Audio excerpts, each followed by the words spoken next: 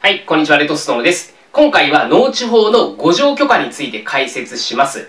5条許可っていうのは、もうイメージとしては、まあ、3条と4条の内容、これを一緒に行う場合、この場合は3条許可とか4条許可を取らずに5条許可を取ってくださいね、といったイメージなんですね。つまり、権利移動と転用っていうものを同時にやる場合です。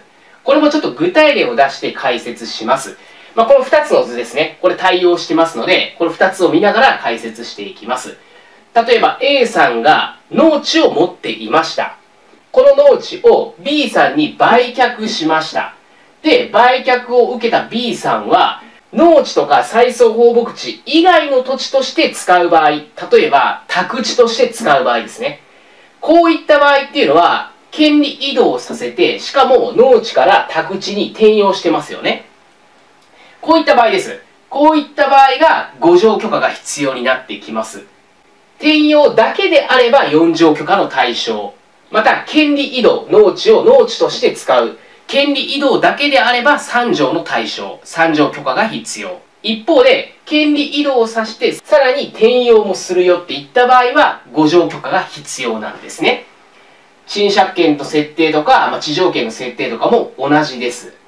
再送放牧地の具体例として出すと、A さんが再送放牧地を持っています。所有してます。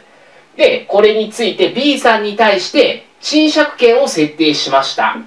で、B さんは再送放牧地だった土地を転用して宅地として利用する。つまり、そこに建物を建てるといった場合ですね。このような場合は、使用者が変わる。使う人が変わって、さらに転用もしてますよね。権利移動っていうのは権利の移動と権利の設定、まあ、つまり使用者、使う人が変わるっていったイメージですね。賃借権の設定によって、これ使う人変わりますよね。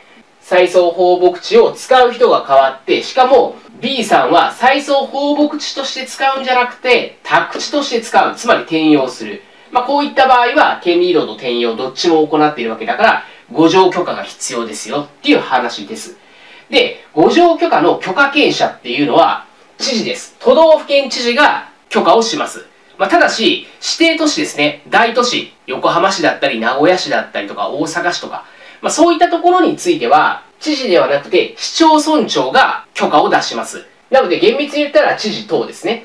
指定都市については、市町村長が許可権者になってきます。ただし、この農地とか再送放牧地が市街化区域内だった場合、この場合っていうのは許可はいらないんですね。許可はいらない。ただし、あらかじめ農業委員会に届け出をしてくださいね。っていうふうなルールになっています。これは4条許可でお話した内容と一緒ですね。この上のような場合であったとしても、この農地とか再送放牧地が市街化区域内に存在するのであれば、許可はいりませんよ。ただし、事前に農業委員会に届け出をしてくださいね。っていうような内容です。で、続いて、許可なく権利移動させた。また転用させたといった場合は、これは3条とか4条の内容と同じですね。こっちが3条の内容で、こっちが4条の内容でしたよね。で、今回5条の内容っていうのは、両方ありますので、まあ、両方かかってくるよって話です。つまり、権利移動させたらそれは無効になります。また、転用させたのであれば、それは転用させたものを元通りにしてくださいよ。現状回復義務を負いますよ。っていう話ですね。で、罰則についても一緒です。3年以下の懲役、または300万円以下の罰金。法人だった場合は1億円以下の罰金ですね。まあ、このあたりもしっかり頭に入れていただければと思います。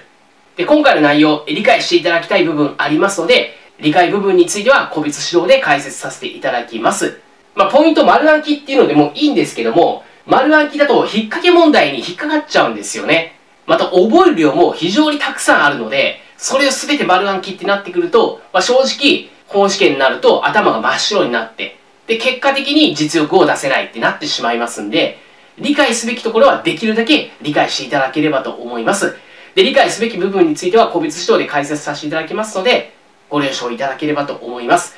個別指導についてはこの動画の下の概要欄に URL を貼っておきますので、もし理解学習をして次の試験で絶対合格したいっていう方は、個別指導受講していただければと思います。あなたの事故をお待ちしております。宅建合格目指して一緒に頑張っていきましょう